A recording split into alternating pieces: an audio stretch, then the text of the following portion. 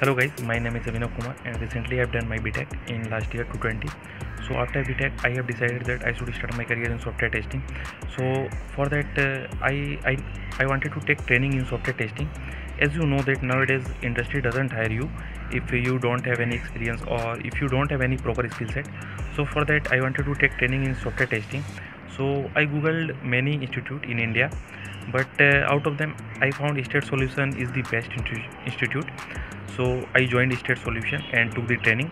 So during the training i have learned many things like how to find bugs defects in a software or in a software product and uh, how to create bug reports how to create test report and test plans and how to write test cases how to execute them so these things i have learned. In short i can say here you will get all the concepts regarding the software testing like 360 degree.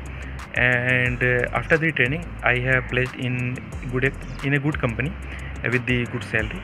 So thank you so much and join STAD solution and be sure about your future